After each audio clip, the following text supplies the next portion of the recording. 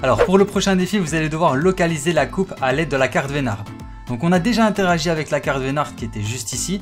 Maintenant, on va tout simplement aller là où il y a la loupe et nous allons chercher après la coupe. Donc là, je vais chercher et après, je vous dis si je la trouve. Ok, donc là, j'ai trouvé l'emplacement. Ce que vous allez devoir faire, c'est de vous rendre juste ici sur le gameplay. Il y aura une grotte comme ça. Et là, ce que vous allez devoir faire, c'est de, pour ouvrir la porte, il faudra donner une arme de niveau de rareté rare.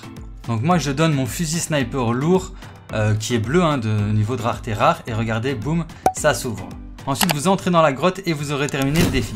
Alors le prochain défi va vous demander de faire une offrande de 100 lingots d'or pour révéler la coupe cachée. Donc pour réaliser ce défi, vous descendez juste en bas. Et juste ici à gauche, regardez, il y a un point d'exclamation. Donc il faudra casser le, rocher qui vous empêche de passer. Et là, vous allez tout simplement déposer les 100 lingots d'or. Dès que ce sera fait, vous aurez juste à prendre la coupe pour terminer le défi et débloquer les récompenses. SE.